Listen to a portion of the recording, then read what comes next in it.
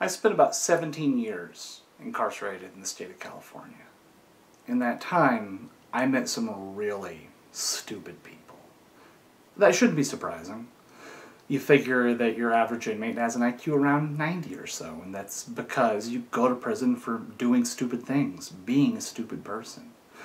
But of the tens of thousands of people that I met while incarcerated, there's one guy who stands out as the dumbest man I met in my entire life. Prid. I met Prid while I was incarcerated at the Mendocino County Jail. I was just starting out my term. It was a small pod that I lived in. There was only about a dozen other inmates that I'd interact with on a given day. So when they moved in a new guy, it was uh, exciting. You go meet the new guy. The fact that he had tattoos didn't really stand out. Lot of inmates have tattoos. Even that they were racist tattoos is not unusual. But these were some messed up tattoos. I, I don't mean they were messed up like they were poorly done. They looked very well done, professional. I mean they were messed up like he had Hail Hitler there on his neck. H A I L, Hitler like frozen rain, Hitler. Up here, he had a pair of swastikas that were backwards. And on this side, he had uh, the lightning bolts, SS, except they were little sixes. He had a ten-legged spider here on his hand, and the piece de resistance, the thing that stood out, was big block letters, white, P-R-I-D, Prid, there on his arms. That's why I called him Prid.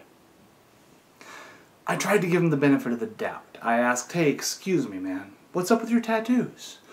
And he spouted off a bunch of racist gibberish. I went, no, no, I, I understand, racist gibberish. But why did you spell P-R-I-D? And he, he again, he went, pride, white pride. I went, no, but why did you spell it P-R-I-D? And I, am thinking that maybe he's going to say something like uh, he and his brother got matching tattoos, so they're a little different than everybody else's, so they could stand out. Or maybe uh, I don't use the letter E, that's a Jewish letter. I know that sounds absurd. You would not believe the absurd and foolish things that I have heard racists say to justify racism. No, no, what he says is we didn't know how to spell pride you didn't know how to spell the word pride in white pride? What in God's name are you proud of? But I ask him, I go, well, then why don't you put an E there on your hand to spell it right? Your response, well, it wouldn't be even then. Oh.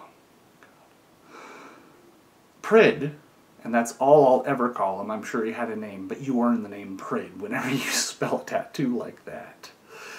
He was dumb as a brick there was an occasion where I, I told him, I said, hey, Prid, I, I, like to be a little generous with the other guys in the pod because uh, you said you were living under a bridge, you were homeless, and I, I know a couple other guys are pretty hard up too, and I, I, have a couple of bucks here and there. So when I go to canteen, can I get you anything? Maybe a candy bar or a couple of coffee packs.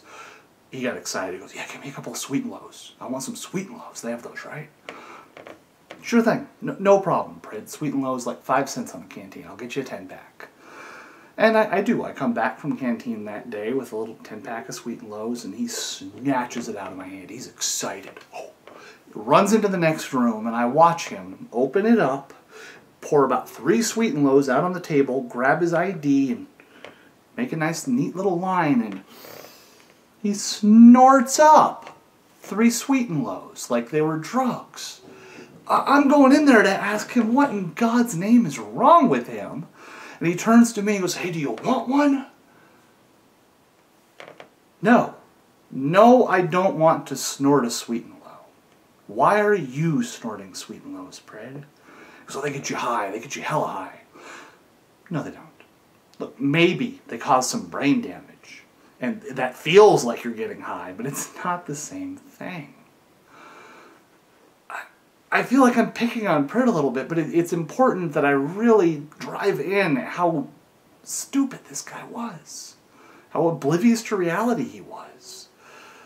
There was a day where because I, I'd been there longer than the other inmates, I, I had a lot of things that other inmates didn't. I, I'd been there for almost six months at this point. I was uh, fighting my court case, and it was it was kind of high profile. It drug out for a lot longer than most guys' court cases did. As a result, I had some things like Bengay, which is you know the cream you rub on your hands if they hurt. I had carpal tunnel whenever I was younger, I'd program computers and you know type 14 hours a day. So my I had bad carpal tunnel. Whenever the other inmates would smoke, it would stink up the pod, and they'd ask me, "Hey, Aaron, can you put on some Bengay and walk around the pod doing this, so that it will diffuse the smell a little bit?" I didn't mind. I wasn't a smoker myself, but it was in everybody's best interest that the pod not smell like cigarette smoke and the cops get upset. One day I'm walking up and down the hall doing this, and Prid starts walking backwards in front of me. He goes, hey, let me get a sweet and low from you. I know what's coming. I, I see where this is going, but I have to follow the conversation through. So I look him right in the eyes, and I'm looking for the tiniest hint of deception that maybe he's just screwing with me, playing up a part. I go, Prid, why do you want a sweet and low? He says, because it'll help. The problem is that it smells like cigarette smoke in here, Prid. How will my giving you a sweet and low help that problem? The smell will go away when I snort it. Either he was the best actor that I've ever met, or he was dead serious and really believed that whenever he snorted drugs, smells went away for other people because he couldn't smell them anymore. One day, after Prid had been there for about two weeks, he got a check from a lawyer for $1,500. I asked him, I went, hey Prid, you have a check for $1,500? He said, yeah, my check came. Prid, you said you were living under a bridge, that you had no money. How do you have $1,500? My check came asking him questions was always a bit of a uh, tedious exercise because he didn't know how to provide information that you didn't really draw out of him. But over the course of about 10 minutes of interrogation, it became clear that he was a trust fund baby.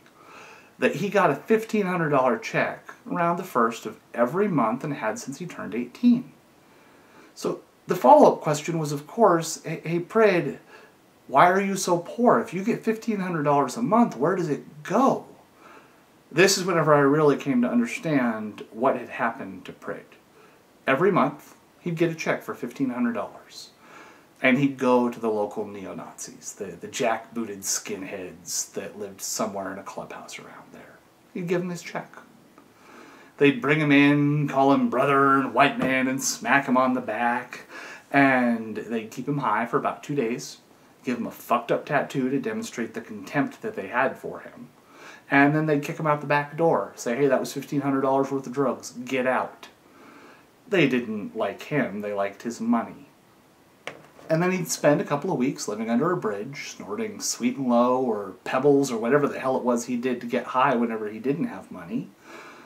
And after long enough of doing this, he ended up getting in trouble with the law. I believe he said that he had a couple of dirty syringes and some drugs that he'd scrounged up somewhere, and he went to jail. But why am I telling this story? I mean, I, I don't just want to make fun of uh, somebody who's, frankly, a pretty sad and pathetic story. I mean, this guy was so brain damaged he couldn't function as a normal human the reason that he ended up in the situation he did is because he believed that the guys that he partied with, the guys that he had fun with, were his friends. If you have somebody in your life that doesn't lift you up, that you just have fun with, that's not a friend. That's not someone who loves or cares for you. You can tell somebody's a friend because they pick you up, and you pick them up. You make lives better. Otherwise, if your friends are just people who drag you down and make your life worse, you end up like Prid. Maybe you don't go to jail or prison or so brain damaged you think that snorting sweet and low makes smells go away, but still your life gets worse because of these people. So look at your life, lift your friends up. And people who don't lift you up don't believe they are your friends because they're not. If you do that, you won't go to jail. You won't go to prison. And you won't have to live a life like Prid.